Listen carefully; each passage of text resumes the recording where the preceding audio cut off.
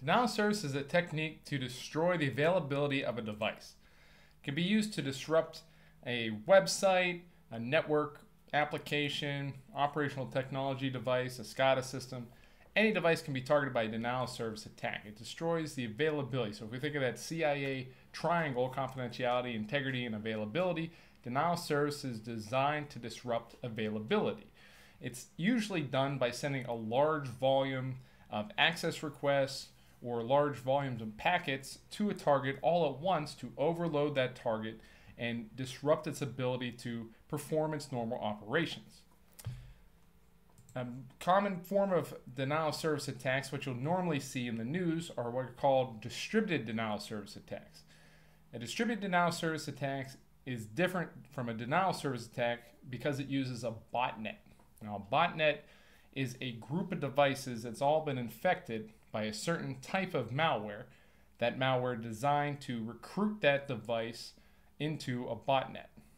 A lot of times you'll find Internet of Things devices, embedded systems, things like printers or smart devices recruited to be in one of these botnets because it's very easy to compromise those devices. There's not a lot of security on those devices to start with.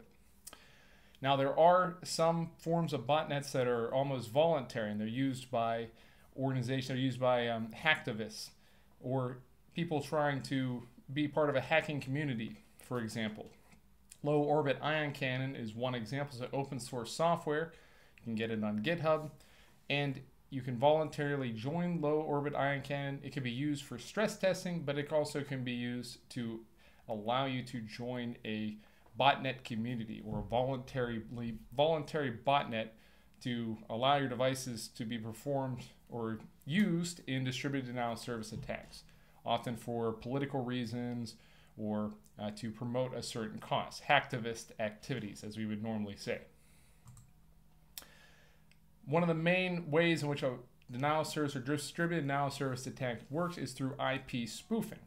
Just like this sounds, IP spoofing is whenever you change the IP address that's assigned to the device or you trick a device into thinking that the sender's IP address is different from what it actually is. This can help protect an attacker or a hacker from being, having their illegal activities discovered. It can also be used in conjunction with other techniques to make a more uh, complex tech, uh, type of attack. There's a bunch of different types of denial of service attacks. There's different techniques for doing this. You can use different types of packets, different protocols. Internet Control Message Protocol, for example, ICMP. Uh, Smurf attacks, they're called, uh, use ICMP packets with spoofed addresses. So you're basically tricking the target, uh, you're, you're tricking a bunch of devices into sending an ICMP reply to a target. And that's a, a certain type of technique that we're going to talk about in a moment. The SYN flood attack, similar type of technique, but with SYN packets. So when you establish a TCP connection, you start with a SYN packet, you receive a response, a SYN acknowledge or ACK packet, and then you respond with an acknowledge packet. So what happens is the attacker will send SYN packets, and then the SYN acknowledge packet is sent back, but there's no uh, response. So a lot of times what the hacker will do is they'll send SYN packets with a spoofed IP to a bunch of different targets, and then those those targets will send a reply, an SYN pack, ACK, an SYN ACK packet back to what they think is the the uh, sender in the first place. In reality, the attacker has spoofed that address, and all of these devices have now been tricked into performing a denial of service attack on a third party. You can also have IP fragmentation attacks, sometimes called teardrop attacks, where you send a packet that's uh, overlapping or it's too large to fit all the information in one packet. And then a ping of death is just an incredibly large amount of information. A packet with a large amount of information that's usually larger than the allowed limit. These types of attacks should be able to be stopped with a good firewall, uh, but they can be helpful against devices that are not not designed with security in mind. So, you know, SCADA devices, industrial control system devices can still be uh, vulnerable to simple attacks like this. And sometimes these attacks would work regardless. Uh, UDP flood is also it's very similar to an SYN flood, except it uses a UDP packet, user datagram protocol instead of a SYN packet. Now, two main types of attacks are amplification, amplification and reflection. Amplification here is where you the attacker is going to be tricking a third party into sending a larger response, uh, a response with a larger payload than what they initially sent. So the idea here is the attacker can send small amounts of data to trick a bunch of different targets into sending a disproportionately larger reply. And again, that that hacker has spoofed their IP address to be the IP address of the third party, the actual target. So the attacker sends out small amounts of data, for example, maybe a DNS request, and then they receive a response with a larger payload, and that response is then sent to the target here instead of the attacker. So the attacker is spoofing their IP. They're sending, hey, could you send me these? I'm requesting DNS information. Please send the response to this address. That's my address. In reality, that address is the target that the hacker wants to have the denial service attack target. Same type of premise with reflection attacks. Uh, the attacker is tricking a resource into sending requested information to the target. And sometimes you'll see these attacks listed as amplification slash reflection attacks. Sometimes they're the same. If you're tricking a target to sending uh, packets or information back, a connection request back to your intended denial service target, that's going to be a reflection attack. And oftentimes the amplification attacks are reflection attacks.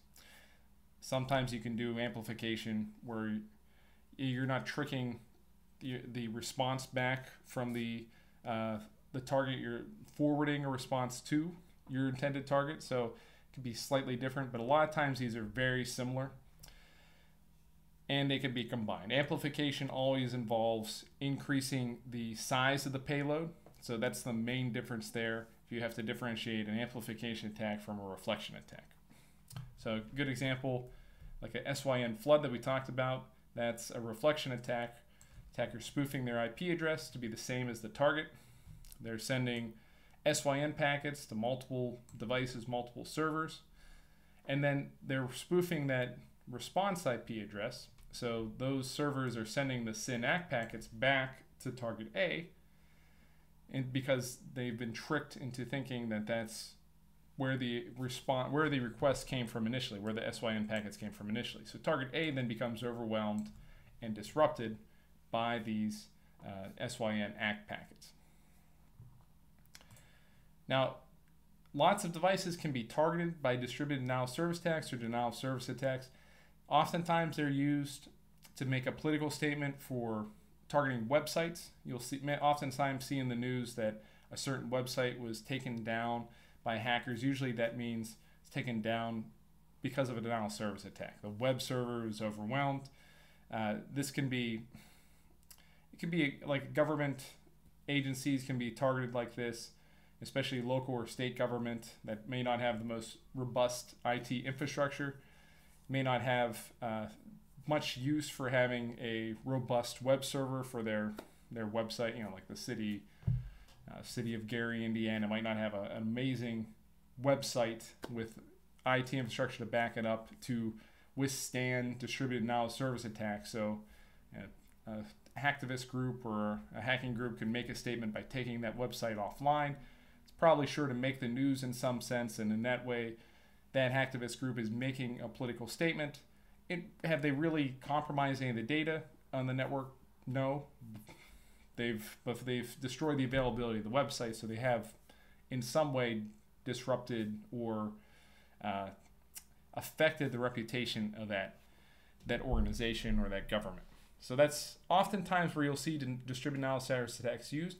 These can also be used if in a military sense, if we there's uh, cyber warfare applications where you take certain systems offline, you take critical infrastructure, operational technology equipment offline power equipment, uh, wastewater, water utility, things of that nature can be targeted by denial service attacks, causing disruptions to power, the ability to deliver utility services to the general public or to you know, military installations. And that can be a major application of this if we talk about this from a cyber warfare standpoint. Hackers usually what you'll see in the news is using them in a hacktivist type standpoint, but if we think about it from a cyber warfare standpoint, you can cause distributed denial service attacks to disrupt drone communication, communication to uh, aerial assets, satellites, operational technology equipment, any any type of network that is used to control a device or a series of devices can be targeted. So those are the main methods of denial service, the main targets, and I appreciate you watching the video and I hope you learned something today. Thanks so much. Have a great day.